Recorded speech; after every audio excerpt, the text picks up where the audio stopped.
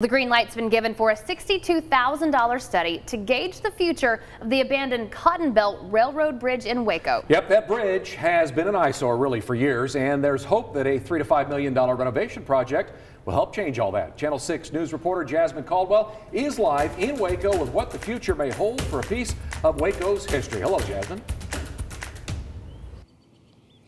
Well, hey, Chris and Leslie, the plan is to turn this historic Cotton Belt Railroad Bridge into a pedestrian bridge spanning the Brazos River. While many gathered over and under the suspension bridge looking at fireworks last night, this old rusty abandoned bridge sat vacant and unnoticed. But according to City Center Waco, an effort is underway to bring the bridge to life, make it more of a park-like atmosphere, a place where people can meet and gather, and a place to spend time with family. We can envision um, maybe food vendors, um, we can envision maybe yoga classes, you know, lots of different ways for people to gather and enjoy this beautiful space and its incredible views of the Brazos River. Last year, the Cotton Belt Railroad Bridge was donated to City Center Waco by Waco developer Rick Sheldon.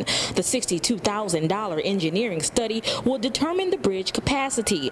Those who frequent downtown and have to look at it every day say this is good news to hear. Waco's a, Waco's a beautiful place. You know, uh, people like to just get relaxed and go go sit out and enjoy themselves. So I think it's going to be real good for Waco.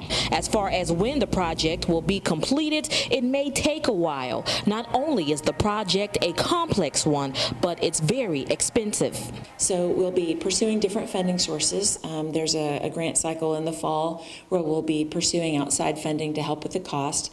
But overall, the project is about, you know, a three to five million dollar project and it's going to take quite a bit of time to assemble all of those dollars.